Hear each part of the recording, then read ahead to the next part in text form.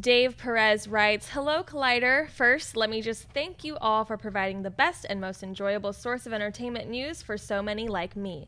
Are there any lesser known slash underrated films that are special to you for emotional reasons, good or bad? Maybe it reminds you of a specific moment in your life, or you just happened to see it at a time where you were experiencing something similar.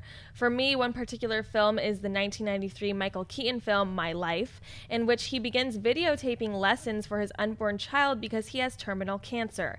It is particularly memorable for me because I first saw it during my own father's battle with cancer, which he sadly lost soon after.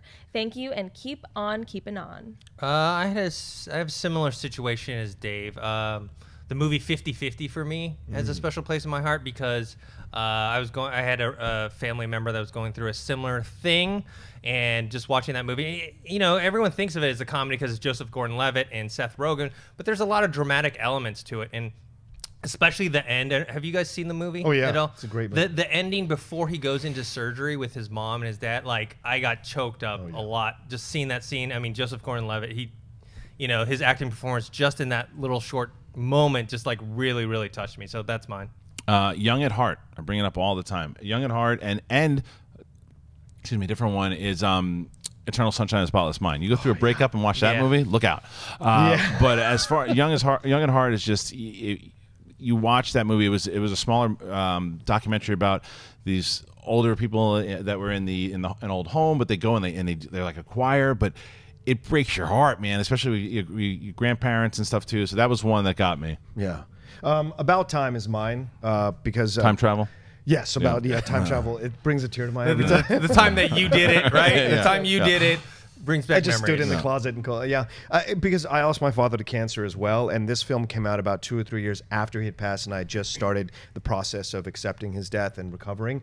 That film broke me wide open, and I actually bought it a couple of weeks ago at the Costco for like eight ninety nine on Blu-ray, and I've watched it a couple times since. It's a really moving, powerful film about losing your parents. Yeah. And so it's like, and what that does to you and the effect. It's beautifully done. And if you don't tear up, I don't know what to tell you. The ending, man. Yeah. Yeah. Just the Yeah. conversation. That conversation Yeah. between his, the last conversation. Well, I don't want to ruin it, but the conversation between the father and son is so powerful when it happens, and it's a very moving. And I would say uh, Hereafter, which a lot of people don't talk about or like of a Clint Eastwood film, I think that film is an awesome exploration of what it's like to be removed from society Mm-hmm. and find your way back into it through your own uh, through your own means. And I thought it's one of Matt Damon's best performances that I've ever seen that no one talks about. I'm glad you brought up Eternal Sunshine Oh, because that's one for me because I, I watched that right after a, a breakup of a, It'll get you. a, a long term relationship and like just what and then uh, It's like therapy, though. Oh, yeah. yeah watching it is on- but yeah. it's it's tough to watch tough therapy. especially because because I've argued with with some people about this. I think I argued with, with Roth about the ending because people take the ending in different ways. Because some people take it as like, oh, that's an optimistic ending,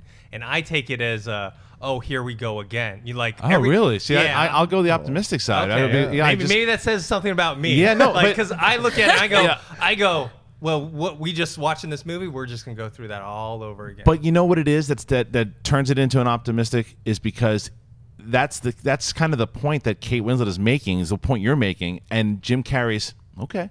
Yeah. that's the point. Is just like if that's what we got to go through again, we're meant to be with one another, and if we have to go down that same path, it's going to happen again. But we've got to go through it together. That's what I loved. I've seen that. I just watched it again like recently. It is still. If I was going to make like a top ten, it's probably definitely in my in my ten. Yeah, I would agree with you completely. It is definitely in my top 10 Yeah. ever made. And you're right, that moment where she says that to him and he says, oh, yeah, oh the okay moment is the acceptance That's what it is. of the inevitability. You take out the okay, yeah. Yeah, Yeah. because you, you, you're going to love who you're going to love. And there's people will talk But you that, out of that it, and there's to no me way is out that's of the, the this the the so such a depressing part of it. Is Well- that is that you can't help it.